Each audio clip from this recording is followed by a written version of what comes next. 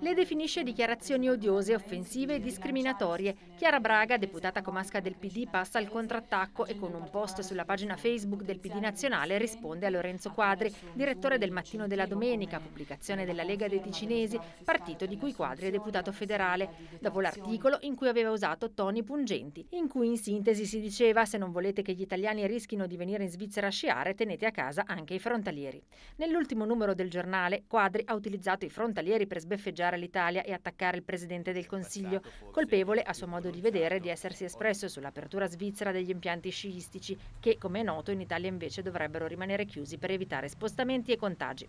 A stretto giro la dura replica di Braga, componente della segreteria nazionale DEM. Dichiarazioni, ha scritto, con cui tra l'altro invita testualmente il governo italiano a tenere a casa i suoi concittadini, a non farli andare a lavorare in Svizzera, insomma, perché, si legge ancora nel post, gli svizzeri vengono prima, prima degli italiani parole odiose, offensive e discriminatorie contro l'Italia, ma soprattutto contro decine di migliaia di lavoratori e lavoratrici che meritano rispetto. Allo stesso tempo però sono parole che ci insegnano una cosa, conclude la deputata, ci sarà sempre qualcuno destinato a venire prima, anche se sei italiano e del nord. Sotto il post sono arrivati quasi 500 commenti.